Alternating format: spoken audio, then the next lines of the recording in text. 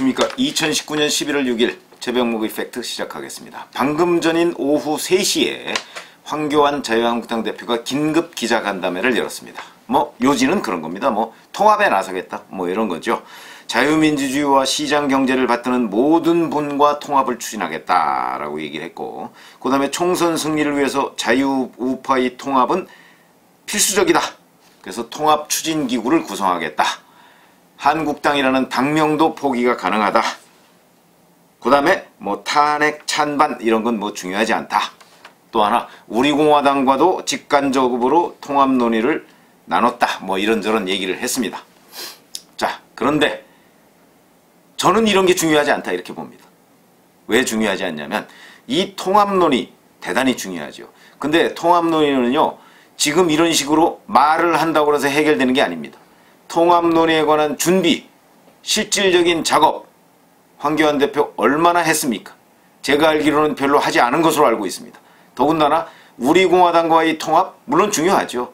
그러나 정말 우리 우리 공화당과 통합해서 내년 총선을 치를 수 있다고 생각하십니까?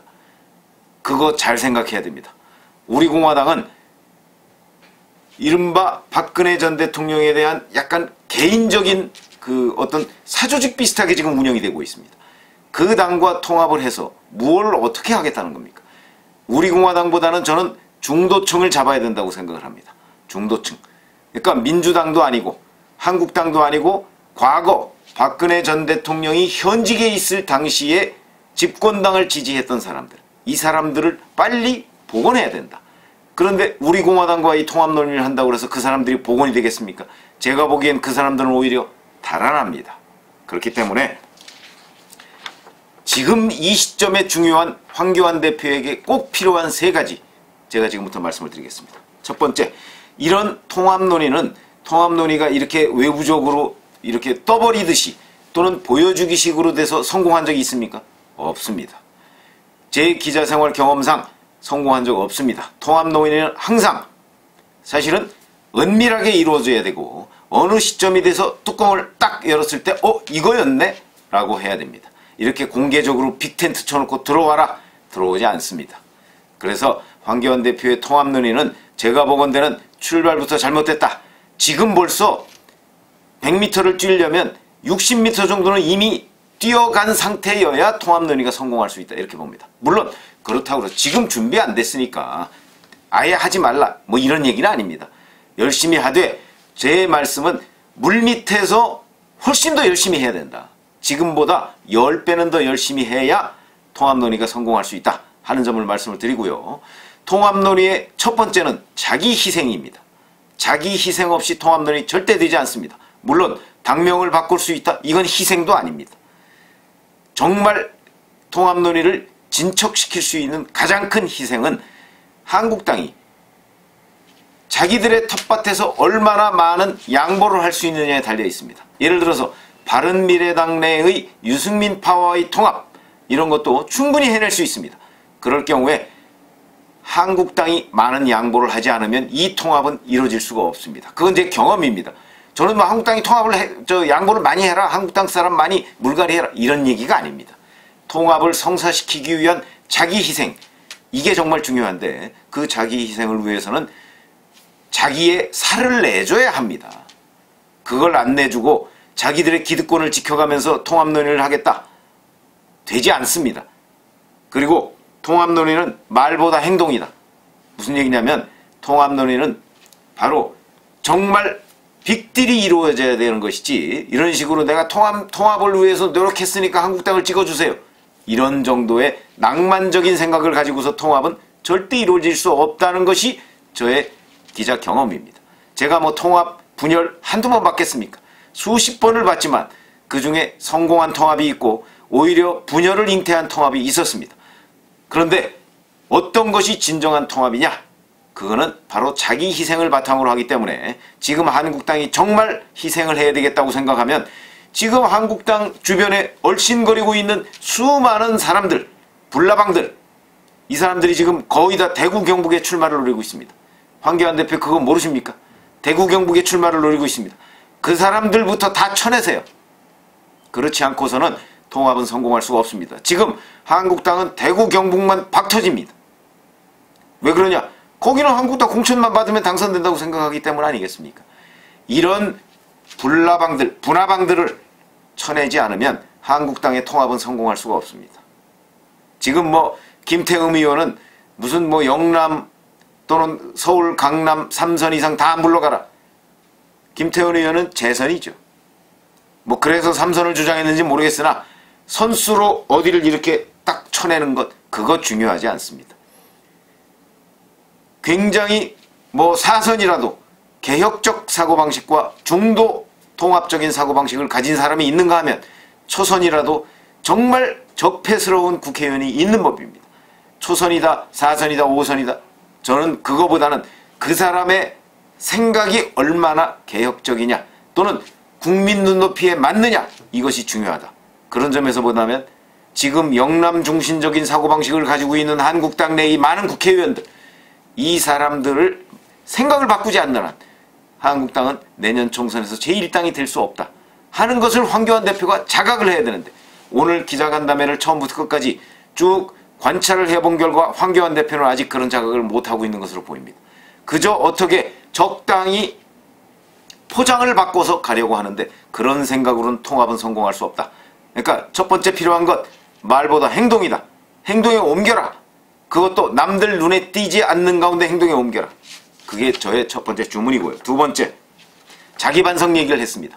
지금 황교안 대표는 여의도 또는 그 뭐 당사가 있는 영등포 주변에 가면 그 여러 가지 황교안 대표를 둘러싸고 벌어지는 일에 대해서 얘기가 들려옵니다.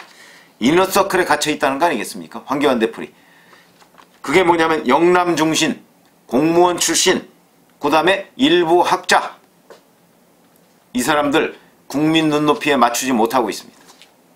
영남 중심의 사고방식, 한국당 내에서의 영남 중심의 사고방식은 민주당 내에서의 호남 중심의 사고방식은 못지않게 위험합니다. 우리나라에 영남 출신만 있는 거 아닙니다. 그리고 영남 출신만 다 찍는다고 해서 다 찍을 리도 없지만 다 찍는다고 해서 한국당이 제1당 되는 거 아닙니다. 그렇기 때문에 영남 중심 출신을 위주로 한 한국당의 운영 어쩔 수 없죠. 그건 뭐 한국당의 태생적 한계니까. 그러나 그거보다 더 중요한 거는 이런 사람들과 더불어서 충청 출신, 수도권 출신 이런 사람들을 적당히 믹스를 해서 그래서 어떤 화학적 융합을 만들어내는 것이 바로 대표의 임무입니다. 근데 황교안 대표 지금 그거 했습니까? 황교안 대표 주변을 둘러싸고 있는 사람이 영남 출신, 공무원 출신, 학 일부 학자 출신 아닙니까? 그 사람들의 생각은 지금 한국당의 핵심 세력의 생각과 일치할지는 모르겠으나 국민 전체적인 어떤 눈높이의 중간 수준 여기에는 전혀 맞지 않습니다. 그러면 황교안 대 그렇기 때문에 바로 박찬주 전 대장을 1호 영입으로 공언하는 이런 사태가 벌어지는 겁니다. 그게 국민 눈높이에 맞지 않는 겁니다. 그러면 국민 눈높이에 국민 보고 한국당이 눈높이에 맞추라고 할 수는 없는 것 아니겠습니까? 한국당이 국민 눈높이에 맞추고 표를 달라고 해야 할 것 아니겠습니까? 지금 그런 일이 전혀 이루어지지 않고 있다. 그럼 왜 이게 이루어지지 않고 있느냐 하는 자기 반성에서부터 황교안 대표가 출발을 해야 된다. 오늘 그런 반성의 기미가 별로 느껴지지 않았습니다. 그럼 자기 반성을 하는 첫 번째의 신호는 무엇이냐? 사람을 바꿔야 됩니다. 바로 본인 주변에 지금 영남 출신, 공무원 출신, 일부 학자 출신의 이 사람들을 완벽하게 바꿔야 되는 첫 번째의 신호는 무엇이냐? 당직 개편을 해야 됩니다. 당직 개편. 국민들한테 내가 이렇게 변했다는 걸 보여줘야 되는데 황교안을 바꿀 수는 없는 거 아닙니까? 또 나경원 원내대표를 바꿀 수는 없는 거 아닙니까? 나경원 원내대표 다음 달에 뭐 임기가 끝나니까 뭐 그때 교체할 수는 있, 지만 지금 당장 어떻게 보여줄 수 있는 거 없습니다. 그러니까 본인을 바꿀 수는 없으니까 본인 주변 사람을 싹 바꿔야 됩니다. 이건희 삼성 회장이 얘기했듯이 마누라와 자식 빼고는 다 바꿔야 된다. 황교안 대표는 황교안 대표와 나경원 원내대표를 빼고서는 다 바꿔야 됩니다. 그런 모습이 오늘 보이지 않았다. 그러면 이건 진정한 자기 반성의 모습이 없다. 우선 당직 개편부터 하시고 자기 주변에 있는 영남 출신, 공무원 출신, 그 다음에 일부 학자들 이 사람들 중에 꼭 필요한 최소한을 남기고 나머지는 싹 바꿔라. 이런 걸 주문합니다. 그것을 바꾸지 않는 한 황교안 대표의 제2, 제3, 제4, 제5의 실수는 연발될 수밖에 없다. 왜 그러냐면 바로 이 영남 공무원 일부 학자 이 사람들이 국민 눈높이를 못 맞추고, 못 맞추고 있기 때문이다. 황교안 대표 잠시 몇 시간 정도만 생각해 보면 결론에 도달할 수 있는 대목입니다. 그 다음에 세 번째 마지막입니다. 언론 환경을 개선하라. 저는 이걸 주문하고 싶습니다. 지금 황교안 대표와 한국당 의원들이 어떤 걸 하든지 간에 사실은 뭐 막말 무슨 뭐 무슨 무슨 프레임 이런데 꼭 걸리고야 맙니다. 그거는 바로 지금 현장에서 뛰고 있는 기자들과의 또 눈높이를 못 맞추고 있는 겁니다. 이걸 갑작스럽게 맞출 수는 없습니다. 그러니까 이걸 맞추기 위해서는 언론 환경을 개선해야 된다. 무, 물론 이런 기자들과의 스킨십, 소통도 원활히 해야 될 것이지만 제도적인 개선도 필요하다. 이건 무슨 얘기냐면 지금 현재 종편이나 또는 지상파에서 여러 사람들이 논평을 하고 있습니다. 그 중에 우파 패널도 있고 좌파 패널도 있고 저는 뭐 우파 좌파 나누지 않습니다. 여튼 패널이 친문 패널도 있고 친황 패널도 있고 중립적인 패널도 있습니다. 이 패널들이 지금 중립적인 패널이나 친황 패널은 굉장히 말조심을 할 수밖에 없습니다. 왜 그러냐면 말조심을 안 할 경우에 또는 중립적으로 얘기를 한다고 할지라도 민주당 측에서 계속해서 문제 제기를 하고 있습니다. 방송통신심의위원회 문제 제기를 해서 제재를 받거나 여러 가지 불이익을 받는 경우가 많습니다. 그러나 거기에 친문 패널이라고 하는 사람들은 그런 불이익에 대한 제한이 별로 없습니다. 왜 그럴까요? 민주당은 지금 열심히 방송을 모니터링하고 있습니다. 민주당 외곽단체에서 하고 있습니다. 다 아실 겁니다. 그러나 한국당은 그런 모니터링 체제가 갖춰져 있지 않고 있습니다. 그러니까 한국당 입장에서 어 이건 불공정하다고 생각하는 그런 부분을 방송통신심의위원회에 끊임없이 문제제기를 해야 될 텐데 기초 데이터 자체가 없습니다. 한국당이 게을러서 그렇습니다.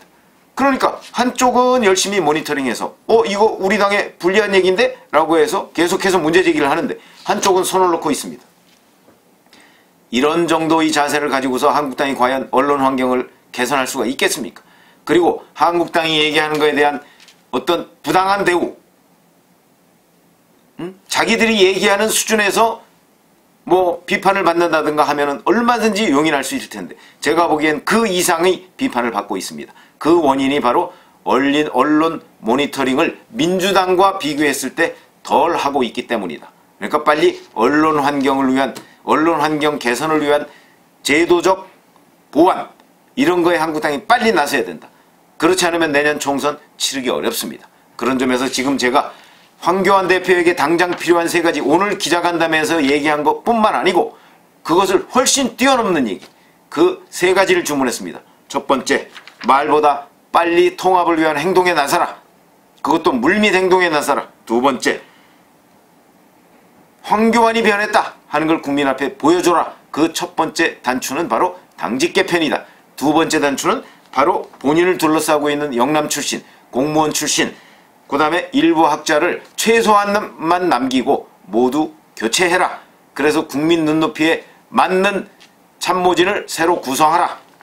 그 다음에 세 번째, 언론 환경을 제도적으로 개선하는 데서부터 나서고 그 다음에 현장 기자들과의 소통을 더욱더 강화해라. 이 세 가지입니다. 제가 기자 생활을 한 지 30년이 넘었는데 정치부 기자 생활을 한 지 30년이 넘었는데 제 경험으로 볼 때 황교안 대표에게 필요한 것은 지금 오늘 기자간담회에서 얘기한 저런 것만 있는 것이 아니라 제가 지금 얘기한 이 세 가지가 오히려 급선무다. 잘 성찰하시기 바랍니다. 감사합니다.